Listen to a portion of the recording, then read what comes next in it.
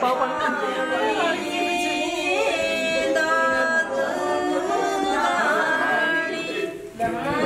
ਪਾਓ ਪਾਣੀ।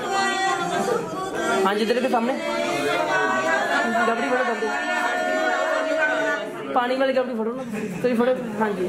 ਪਾਣੀ ਪਾਓ ਥੋੜਾ ਹਾਂਜੀ, ਸਾਹਮਣੇ ਦੇਖੋ ਕੈਮਰਾ ਕੈਮਰਾ ਦੇਖੋ। ਸਾਹਮਣੇ ਤੇ ਸਾਰੇ ਨੇ। ਆਂਟੀ ਇਧਰ ਦੇਖੋ, ਆਂਟੀ ਤੁਸੀਂ ਉਧਰ ਦੇਖੋ ਤੁਹਾਨੂੰ ਤਾਂ ਪਤਾ ਹੀ ਹੈ ਕੰਮ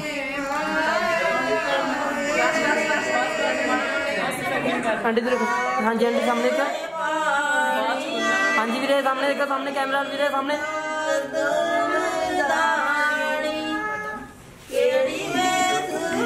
ਆਂਟੀ ਆਂਟੀ ਹਾਂਜੀ ਸਾਹਮਣੇ ਵੀਰੇ ਤੁਸੀਂ ਫੜੋ ਬਹੁਤ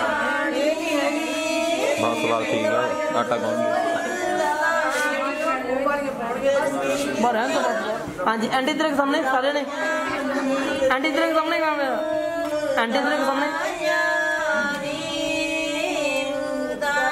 ਠੀਕ ਹੈ ਬਾਕੀ ਸਾਹਮਣੇ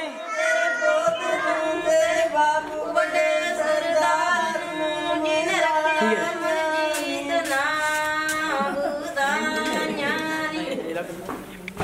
आंटी तेरे को सामने मिरर ये खवा दे खवा बड़ा पीछे रहे